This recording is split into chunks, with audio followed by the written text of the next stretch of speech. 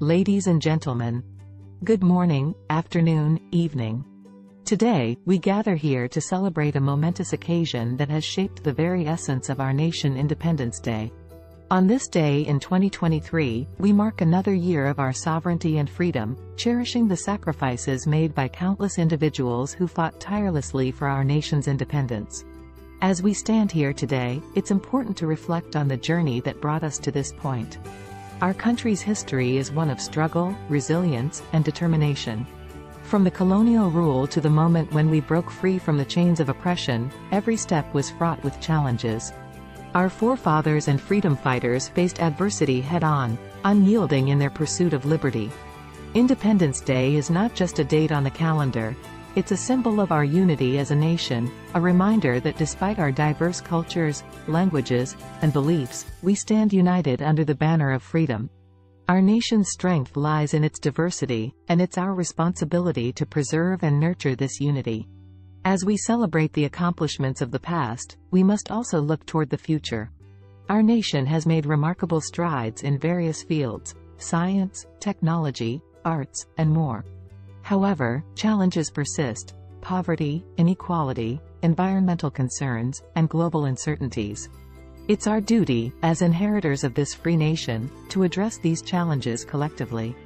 Education, innovation, and sustainable development are the cornerstones of progress.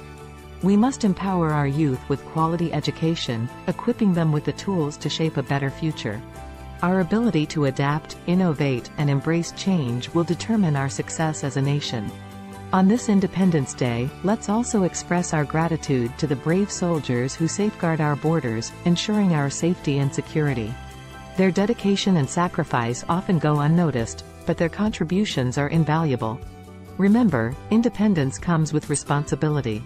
The freedom we enjoy today was not easily won, it was the result of sacrifices made by those who came before us. It's now our turn to honor their memory by being responsible citizens, by contributing positively to society, and by upholding the values of democracy, equality, and justice.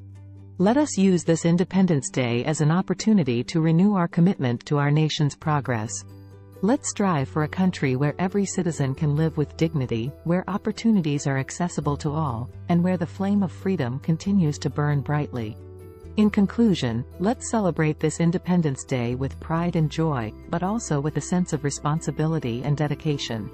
Let's pledge to build a nation that stands as a shining example on the global stage, a nation that values its past, embraces its present, and shapes a promising future for generations to come.